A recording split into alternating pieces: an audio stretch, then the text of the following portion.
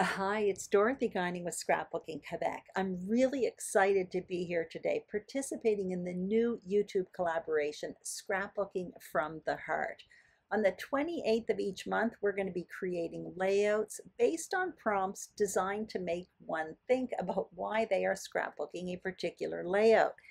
In January, the prompt is optimism. So let's put this into context. If the prompt were 2021, for example, you could scrapbook about New Year's Day, what you did or didn't do, resolutions. But with a prompt like optimism, you could scrapbook about all of that, but you could scrapbook about anything really. This type of prompt is going to encourage you to look at your story and your photos in a little bit more depth. Now, if this sounds like too much work, hang on. My goal is to do a layout process video with a fun page design every month. But I also want to break down this prompt-based scrapbooking process into hopefully three easy steps. Now, first, I want to talk about story and photo selection. So every month I'll share ideas on what may work with the monthly prompt. The second step is material selection. So I want to show how to really select papers and embellishments to truly support your story. And finally, the last step will be journaling. And that may be writing tips, or it may simply be creative ways to incorporate journaling on a layout. Now, before jumping in, I do have to point out there's no way I would do this for all my pages in my album. Sometimes I like to scrapbook and not think, and that's good and that's perfectly okay. But sometimes a page like this in your album with a little bit more depth is really, really rewarding. Trust me. I can't wait to see how the others interpret this challenge. Their links are all listed below, so be sure to check them out. Now, the photos. Here's what I'm going to be using today. I have two photos. That's me taking a photo of a mushroom and the other one of a mushroom. So how does this relate to optimism? Well, Last summer, I couldn't travel to visit my family. I couldn't really socialize with friends much, and I ended up taking a lot of nature walks with my camera. And at one point, I had all of these photos of mushrooms, and I'm thinking, what am I going to do with these?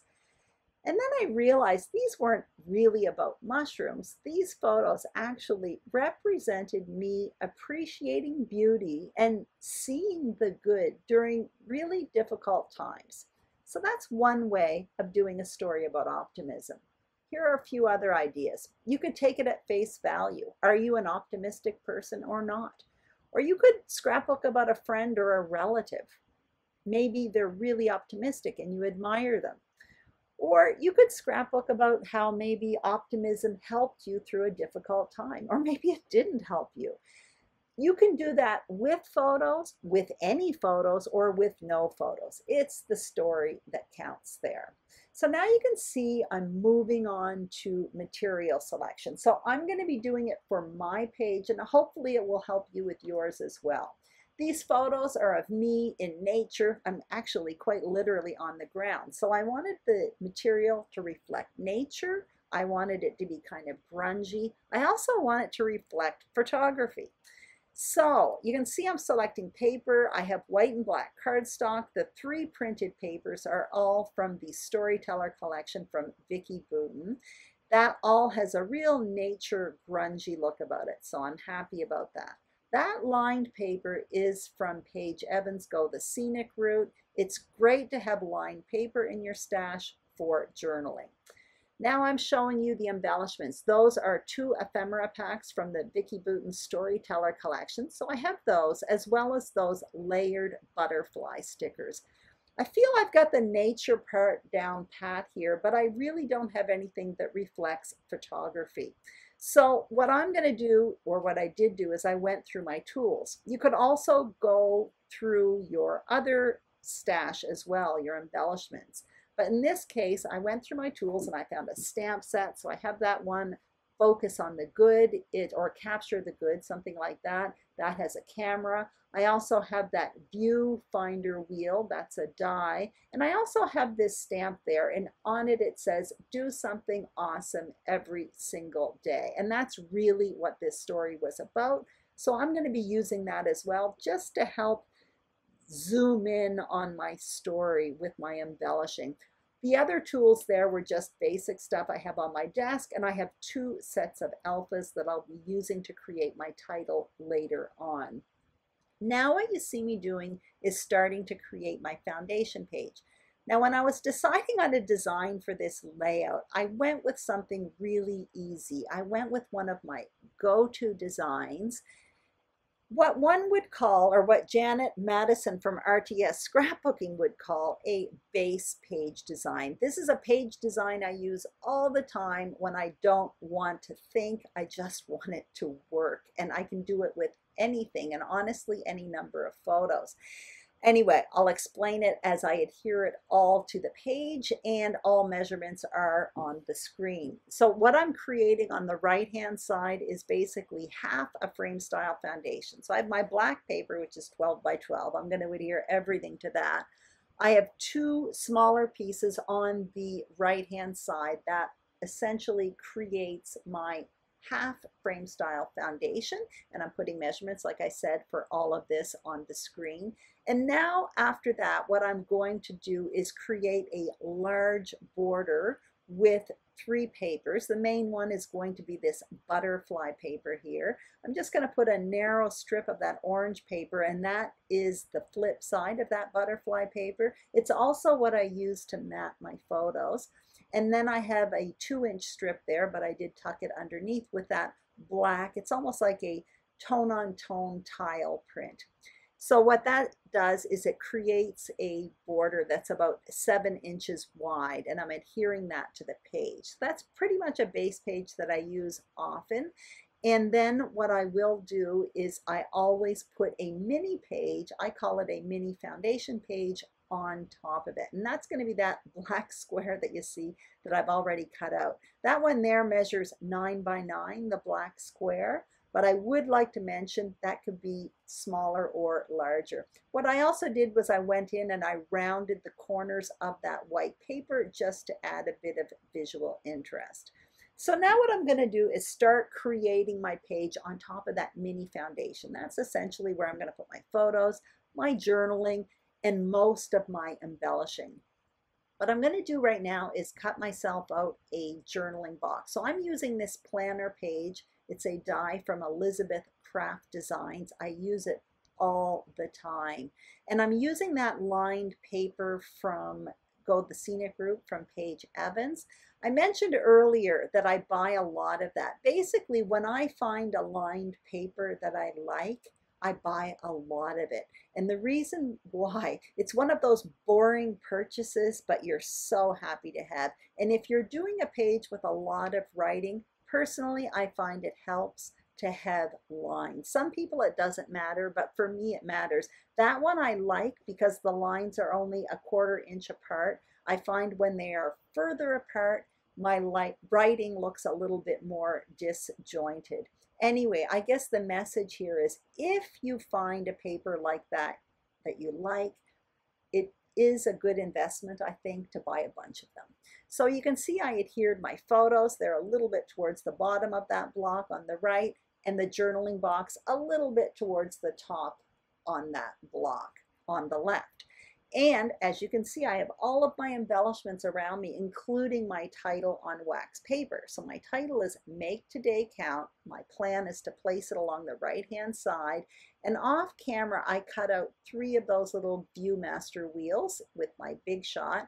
And now what I'm going to do is start creating embellishment clusters just above that photo on the right side and beneath that journaling box on the left. Essentially, I'm going to be making two main embellishment clusters here. Now with the ephemera, what I did was I selected by color, but I definitely want to zero in at the end and come in with more theme-based embellishments, or in this case, I should say prompt-based embellishments. Anyway, this is about nature, it's about photography, and it's about being optimistic and trying to make the best of a, you know, not so good situation. So that's what I want my embellishments to reflect. You can see in the top right, I did some layering there. I've got a library card, I've got a bingo card, but it's tucked. You don't know it's a bingo card. And I've got another kind of library card, basically. I'm also tucking in a little Viewmaster wheel in that top corner. In the bottom, I've got a few little tabs there. One of them really works well. It says live, create, tell the story, repeat. But I really still want something more photography focus. So now I'm coming in with that stamp set that I showed you earlier and I'm going to stamp out my camera. I will stop the camera and I cut it out with scissors. It was really easy to cut out. I'm not much of a fussy cutter, but that was pretty easy. It's just straight lines. That's a circle that was part of the same stamp set. It's like a little wheel with a heart in the middle. I stamped out a few of those. I ended up not using them. And I'm going to stamp out it, that expression that says, do something awesome every single day. So I stop the camera and what I do is I cut out the camera that's on the paper and then I end up cutting out that expression. You can see I did one in gray and one in black. I end up using the black one. I cut it out with those dies that I just showed you. Those are rectangle stitched dies from Stampin' Up. So I did a smaller one and then I created a mat in the black paper. So now I'm ready to continue placing my embellishing because I have everything now on the desk around me, on the table around me. I'm just adhering that expression on top of the black mat. I'm starting with the larger pieces and then coming in with the smaller pieces. And then what I'll do is once I'm happy with all of that, I'll speed up the film and I'm just going to adhere everything exactly where I had placed it. I'm taking that butterfly sticker sheet and just cutting it up because it's on a transparency and I, I know I'm going to use it so I'm just wanting to know which colors I want to use. I end up with a peachy one at the bottom which is what I was looking for when I actually stamped out that little heart for the middle of the camera. I wanted to repeat that color down there but I end up satisfying myself with that peachy colored butterfly that you saw me stick right there. So I end up, actually, you're going to see later on, I don't even use that little heart in the middle of the camera. So I've sped everything up. I'm adhering it exactly where I had placed it, creating two main embellishment clusters, bottom left, top right. And once I know how much room that mini page, that mini foundation is going to take, I'm ready to adhere it to my main foundation page. I always wait until that step is done. I also wanted to make sure that I had enough room to place my title to my liking on the right hand side. So that's what you see me doing right now. I'm adhering my title and I'm basically starting with the last word. Then I come in and I do the first word. So I do count, then I do make, and that gave me the middle so it was easier to position today in the middle of those two words and it basically spanned along that entire nine inch block. So I'm really happy with that actually. And once that is finally down, all I'm going to have to do is come in with the small details. So what I was thinking of was that heart in the middle of the camera, but I ended up putting one of those star puffy stickers from the Storyteller collection in the middle thought about doing it in the top right, but chose not to. And now what I'm doing is simply stamping the word amazing in that tab up, up top of that planner page. And then what I'm going to do is stop the camera, do my journaling, and then I'm going to come back and actually read it for you. I don't usually do this, but here I go.